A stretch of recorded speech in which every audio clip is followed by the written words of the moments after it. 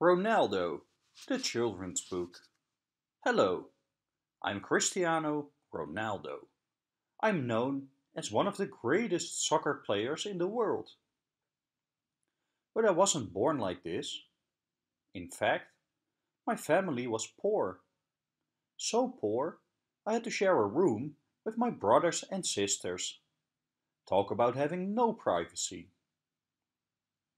To have fun, I played soccer, and my father helped our team by being the kit man. In other words, he handled all the equipment. He loved watching me play. His encouragement made me play more, and I soon found out I was good at this. I kept playing, and when I was 12, I signed on to Sporting Club Portugal, one of three big clubs in Portugal. I joined a soccer academy. Yes, we take soccer seriously in Portugal. I kept playing and got so good. By 14, my entire life was centered around playing. Nothing could stop me. Not even my own body could stop me. I had a heart condition that could have stopped me from playing, but I had a surgery done to make it good as new. A few days later, I was playing again.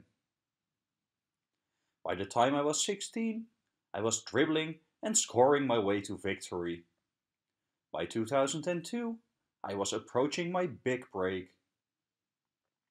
I scored a lot of goals for my team. For example, if the score was 3-0, I usually scored two of those goals. I was so proud. When I was 18, I impressed the club Manchester United, who signed me right away. They called me young and exciting. I was just doing what I loved. Not everything was perfect. People would get jealous over my success, and some wanted me gone. I even got booed I soon learned that not everyone is going to like me, and it's okay. Instead of letting them get to me, I made that season my best year yet, and we even won a title.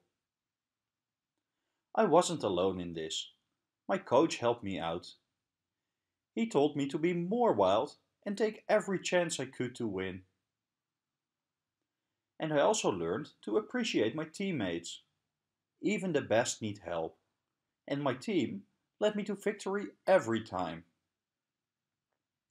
Even though I'm called the best, I have my bad days. Sometimes I miss a goal. Other times I hurt myself and need time to rest. I'm human, just like everyone else, and I do make mistakes. The reason I'm called the best isn't because I was born with it. I took a hobby I loved and worked very hard to make a living out of it. Every time something stood in my way, I kicked it out of my path, just like I do with the balls at my feet. You can learn from me. Find something you love and see if you can become the best at it. It can be drawing, writing, and yes, playing soccer.